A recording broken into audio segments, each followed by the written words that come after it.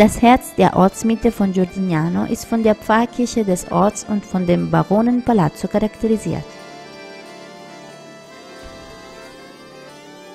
Verschiedene Häuser und Adelssitze umgeben den Rathausplatz, wo der barocke Helm Heiligen Hochus hervorsticht, der 1772 in der Mitte der Ortschaft von der Gemeinschaft von Giordignano errichtet wurde, um den Schutzpatron zu ehren.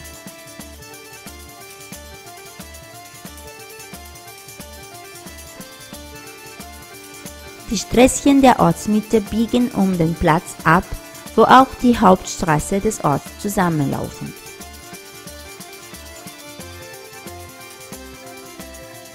Die Physiognomie der städtischen Architektur von Giordignano ist von der Anwesenheit von Häusern mit einem einzigen Stock gekennzeichnet. Man kann auch wichtige Adelshäuser finden, die die Erneuerung des Gebäudebestands und des Wirtschaftswachstums des 18. Jahrhunderts beweisen.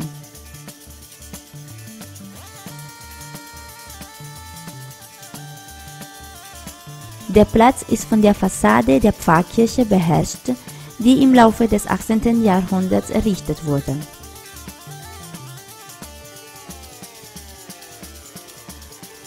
Die drei Statuen auf dem Eingangsportal stellen der Christus zusammen mit den Propheten Elias und Mose während der Verklärung Christi dar.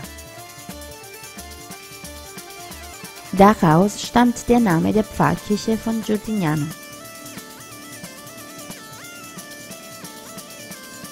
Auf den Seitennischen sind die Bildnisse der zwei Bischöfe der Kirchen Heiligen Augustinus und Heiligen Ambrosius sichtbar.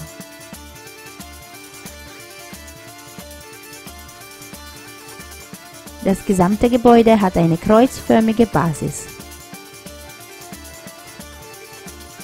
Man bemerkt die üppigen Stuckarbeiten und die leuchtenden Pigmente, die das religiöse Gebäude preisen und verzieren.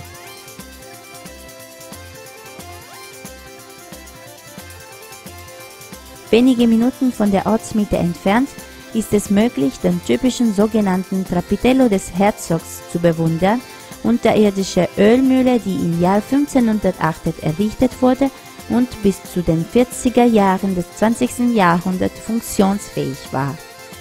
Im Inneren gibt es die ursprünglichen Ausrüstungen, die in der Vergangenheit für die Ölproduktion verwendet wurden. Das Öl symbolisiert die feudale Wirtschaft des Salentos. In den Nischen, die entlang die Wände sichtbar sind, wurden einst die Oliven, die von den höher gestellten Öffnungen fielen, gesammelt. In den typischen Wannen aus Stein wurden die Früchte aufbewahrt oder vor der Olivenpressung unterteilt. Wenn man die Ölmühle besichtigt, hat man das Gefühl, die Geräusche dieses alten Gebäudes zu hören.